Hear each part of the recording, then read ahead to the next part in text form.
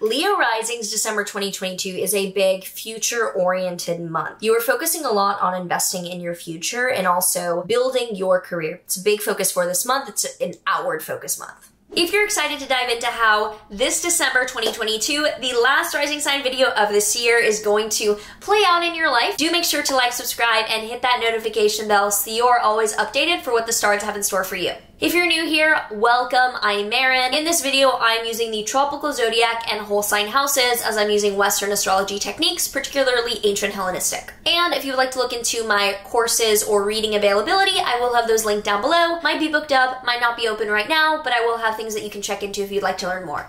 From the first to the second, we start out the month with Mercury in your fifth house, squaring Neptune in your eighth house. So there's a lot of talk in the beginning of the month about something really fun in your life. A big focus is either your romantic relationship or something creative you're working on, but financially there's some confusion. You might be being misled or told something too good to be true. Then on the first as well, Venus in your fifth house will oppose Mars in your 11th house. This can show tension between working on something creatively and the perception of that thing by a greater audience. So it looks like your perspective is going up against a greater force that does not really approve of it. On the fourth, Venus in your fifth house will square Neptune in your eighth house. It shows that you are probably having a nice either romantic relationship or working on something creatively, but the financial confusion is making things very gray. You're not sure where the finances stand on this. On the 7th, we have a full moon in Gemini, and this is a pretty aggressive full moon. It's conjunct Mars exactly. Now, this is happening in your 11th house of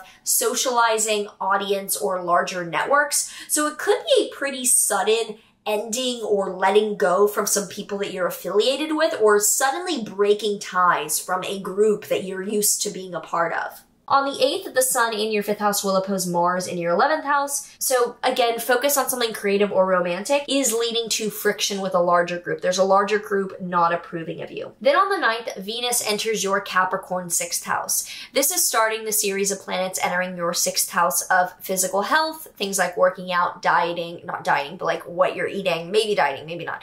Um, working out, eating, um, even coworkers or people that you're seeing on a day to day basis at work. That is what the sixth house is. So it shows Venus there. You're either improving your health, you're improving your uh, workout or your health routine, or you're getting along really well with your coworkers starting the middle of the month onward. Then from the 14th to the 15th, the sun in your fifth house will square Neptune in your eighth house. This again is showing that focus on your creative project or your romantic relationship is involving some financial inconsistency or gray area. And from the 17th to the 18th, Mercury in your sixth house will trine Uranus in your 10th house. This shows that communicating with coworkers or about your health is actually suddenly benefiting your career a lot, and those two things are connecting very positively. Then on the 20th, Jupiter re-enters your Aries ninth house. This is showing that expansion, growth, and optimism is returning to your ninth house of foreign travel or higher education. It was there over the summer. Maybe you learned something new, explored something educational, or you went traveling extensively. This will be re-emerging to start off this next year really amazingly. On the 21st to the 22nd, the sun in your Capricorn 6th house will square Jupiter in your Aries ninth house. This is again showing that uh, really positively what you're working on on a daily basis, either with health or or with your coworkers is expanding your horizons and possibly leading to greater travel opportunities. Then on the 22nd, Venus in your sixth house will trine Uranus in your 10th house. This is great again for workers or people that you're working around or your health really benefiting your career suddenly. Those two things are really strong end of the month. And on the 23rd, there is a new moon in your Capricorn sixth house. A great new beginning to something very abundant, something very grounded, something very tangible in your sixth house of physical health or coworkers. Two main things that are getting a new beginning could be also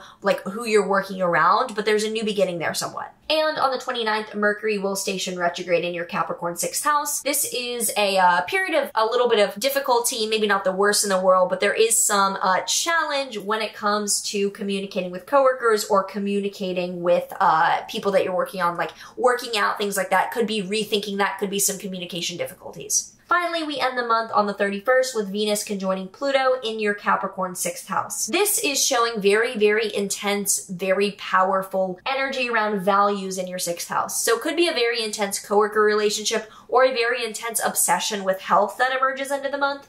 Um, it's not bad per se, but it is very intense and it does involve intensity around values at the end of the month. If you have any thoughts or comments you want to share about how this December sounds for your life, do let me know down below. I read almost everything that I can um, on the subways, usually my comment reading time, and I'm always interested in hearing about how this is showing up in your life. So do let me know down below, and I hope that this is a fun month for you as I, I like the astrology of this month. I'm excited for it.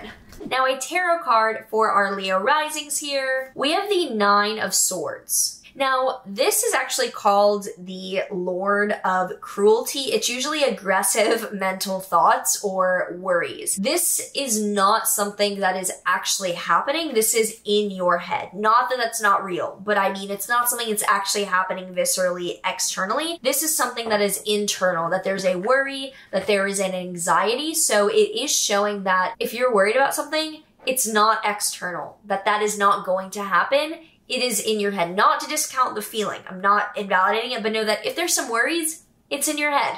Crazy to think that it was just a few years ago, alone in my NYU dorm room, that I was filming like 2017, 2018. I don't know if I was, I don't remember the exact videos, but like that was me back then and this is me today, 2022. So, uh, small world. I will see you in the next one though, next year technically. Uh, take care. Oh,